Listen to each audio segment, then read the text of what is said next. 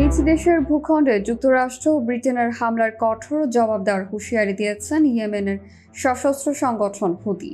মার্কিন জোটের ব্যাপক বোমাবর্ষণের প্রতিবাদে রাজধানী সানায় আয়োজিত সমাবেশের পর এই হুঁশিয়ারি দেন সংগঠনটি, যাতে অস্ত্র আর ফিলিস্তিনের পতাকা হাতে অংশ নেন ক্ষুব্ধ ইয়েমেনিরা। ফিলিস্তিনের পক্ষে লড়ে যাওয়া বার্তা দেয় গোষ্ঠীটি।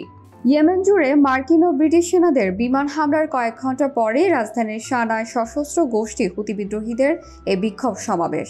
অস্ত্রশস্ত্র নিয়ে কুচকাওয়াজের আয়োজন করে হুতি সমর্থকরা জানান দিল, মার্কিন জোটের হামলায় এতটুকুও ভয় পাননি তারা। কামান রাইফেল আর ফিলিস্তিনি পতাকা নিয়ে চলে প্যারেন সমাবেশ থেকে ইসরায়েলে আগ্রাসন বন্ধ না হওয়া পর্যন্ত ফিলিস্তিনের পাশে থাকার বার্তা দেন হুতি সদস্যরা। পাশাপাশি ইয়েমেনের ভূখণ্ডে এমন আগ্রাসনের কঠোর প্রতিশোধের হুঁশিয়ারিও দেওয়া হয়। যে কোনো পরিস্থিতির জন্য ইয়েমেনের জনগণ প্রস্তুত। ইয়েমেনের সব নাগরিকে এক একজন সেনা।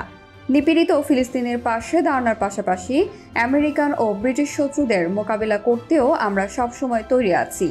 আমেরিকান, ব্রিটেন ও ইসরায়েলের বিরুদ্ধে লড়াইয়ের জন্য বৃদ্ধ থেকে যুবক ইয়েমেনের সব নাগরিকই অস্ত্র নিয়ে তৈরি আছে। যারা ইয়েমেনে হামলা চালিয়েছে, তাদের স্পষ্ট ভাষায় বলতে চাই এইসব হামলায় আমরা বিন্দুমাত্র ভয় পাই না। ইরাক সিরিয়া হামলার একদিন পর যুক্তরাজ্যকে সাথে নিয়ে ইয়েমেনেও অন্তত তেরোটি স্থানে হামলা চালায় মার্কিন বাহিনী। ইরান সমর্থিত গোষ্ঠীটির অস্ত্রাগার, ক্ষেপণাস্ত্র, বিমান প্রতিরক্ষা ব্যবস্থা ও রাডারকে লক্ষ্য করে ব্যাপক বোমা বর্ষণ করা হয়। এর আগেও কয়েকবার হুতিদের স্থাপনায় হামলা চালিয়েছে দেশ দুটি।